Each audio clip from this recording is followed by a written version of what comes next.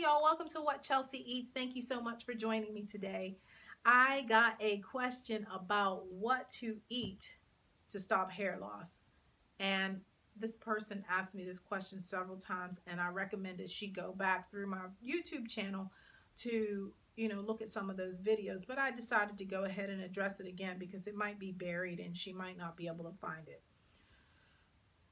The best diet to combat hair loss is to stop eating processed foods, sugar, and hormonal products, things that cause estrogen dominance.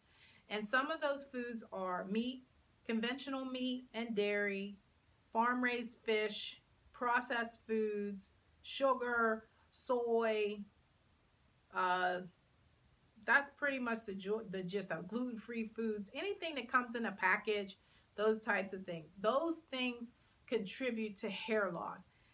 It contributes to hormonal imbalance, which contributes to hair loss. It contributes to mineral deficiency, which contributes to hair loss. So, in order to stop your hair from falling out, you get your diet right by cutting out all those things that I discussed, and you flood yourself with minerals and vitamins through foods that you eat. So lots of green vegetables, lots of um, raw raw fruits and vegetables like broccoli and uh, peppers and leafy greens and eggplants and zucchini and all any kind of vegetable that you like, however you want to like it. I mean, however you want to cook it.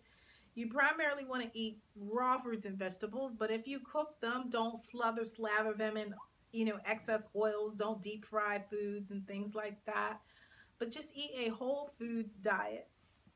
And there have been books that I have recommended uh, to actually um, a diets to actually follow. My favorite person to follow is Dr. Joel Fuhrman. Uh, he writes wrote a book called Eat to Live, and there's another book called End of Dieting that you can uh, get. I will put a link below for those two books. Uh, there is a book called The Happy Herbivore. I'll put a link down there, down below.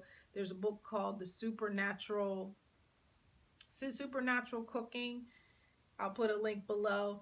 You just have to make yourself eat whole foods. If you eat whole plant foods as much as possible. I'm not even saying get rid of all your meat products. If you want to continue on your animal products, just make sure they are as clean as possible. So you want to get organic, grass-fed, free range, however you, and, and uh, wild caught animal products. If you want to indulge in, in animal products. But the key is is to eat more fruits and vegetables than you eat animal products and you don't have to have animal products at every meal the problem is, is the reason why we get so our, our hair starts to fall out is because most of the food that we're eating is not minerally dense. I mean, nut nutrient dense. And we need nutrient dense density in our food. So we need lots of nutrients in our food so that our body gets the nutrients that it needs so that our hair can grow or that our hair can stay on our head.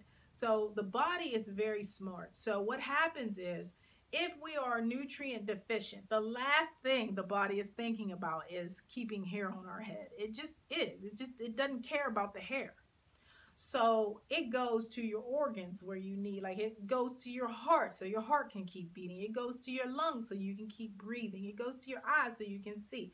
Even your eyes would be like one of the last things that your body would take care of because it's taking care of the things that keep you alive first. So if that's all if that's all the nutrients you have in your body is just to keep your heart and lungs and your liver and your stomach working, then that's where, where the nutrients are going to go. So I hope that makes sense. It's kind of like your body is smart. It's going to it's going to put the nutrients where it needs to go first and then if there's anything left over, it'll go to your hair or your eyes or you know, your skin or something like that. So you want to eat foods that are rich in nutrients. Also, if your hair's falling out, it's probably you're probably anemic or you probably have some type of iron deficiency. It could be vitamin B12 deficiency. It could be vitamin D deficiency. So you want to make sure you're taking a multi-mineral, multivitamin or go and get those um, things checked like your vitamin D level, your B12, your iron, get an iron panel to see if any of those things are low. And if they're low, then you get a good quality supplement to take in order to replenish, help replenish those nutrients that you have lost or that you're deficient in in your body. Other than that, you just make sure you're eating whole foods. Whole foods as close to the way God made them to be and eat them as raw as possible. So that's my recommendation to stop hair from falling out. I know how terrible it is to have your hair falling out because I went through it and it was terrible. And I would not wish it on my worst enemy because it is no fun. But anyway, I hope this helped. And if you have any more questions about hair loss, please put them below. Share this video with everybody you know. And uh, I hope to talk to you soon. Take care.